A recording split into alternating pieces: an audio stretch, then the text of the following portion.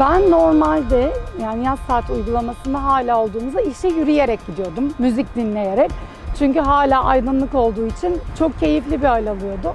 Ama şimdi karanlıkta çıkıyorum ve karanlıkta eve dönüyorum. Artık yoldayken hani öyle müzik dinleyemiyorum. Çünkü bu sefer de bazı sokakların ışıkları yanıyor ama bazı sokaklarda ışık olmadığı için aydınlık yolları tercih ediyorum. Biz öğretmenler ve öğrenciler zaten tüm günü okulda geçiriyoruz. Bir yerden bir yere transfer yeterince yorucuyken bir de bunu karanlıkta yapıp tedirgin olmak daha da kötü.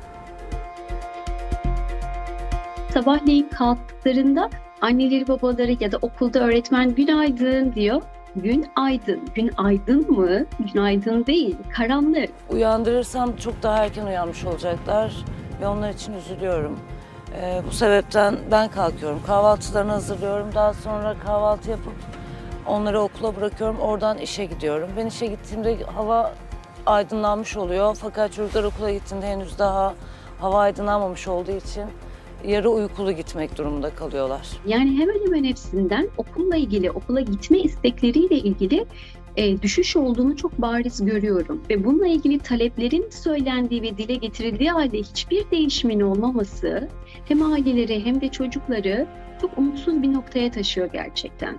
Ee, Sayın Bakan'ın geçenlerde açıkladığı biz 6 yılda 6.8 milyar kilowatt saat elektrik tasarrufu yaptık.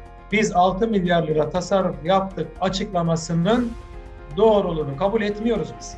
Peki siz 6 yılda elektrik üretim şirketlerine, bu şirketlerin bazılarına tam 2016 yılından 2020 yılına kadar tam 110 milyar lira Yektem adı altında para ödediniz. Yektem ödediğiniz para 2021 yılı içerisinde bugüne kadar şu anda 49 milyar lira. Bu ülkenin çocuklarının uykusundan çalarak 3,5 yılda yaptığınızı iddia ettiğiniz tasarruf şirketlere verdiğiniz paranın yanında devede kulak bile değil.